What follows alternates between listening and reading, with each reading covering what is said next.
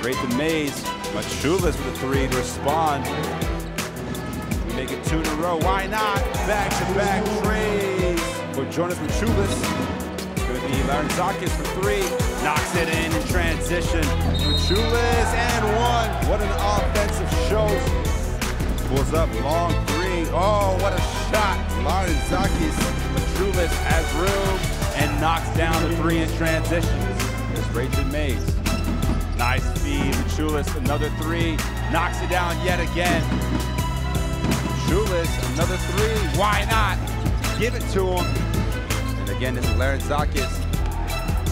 Larentzakis, he's hit five so far. Make that six. Another three-pointer for Larentzakis. Griffin over to Larentzakis, another chance, another three-pointer. Unbelievable shooting.